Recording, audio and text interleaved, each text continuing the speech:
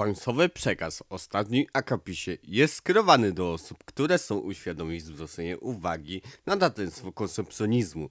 Jeśli większość przepada za konsumpcjonizmem, może się po prostu wyłączyć ten spot. Brakuje ci gotówki? Bierz super kredyt, pożyczasz 3000, oddajesz 3500. Nie zwlekaj, zadzwoń już dziś. Przed podpisywaniem zapoznaj się z treścią dołączonej do umowy lub skontaktuj się z bankiem lub doradcą, gdyż każdy kredyt niewłaściwie rozporządzony zagraża twoim zasobom w wykruszeniu.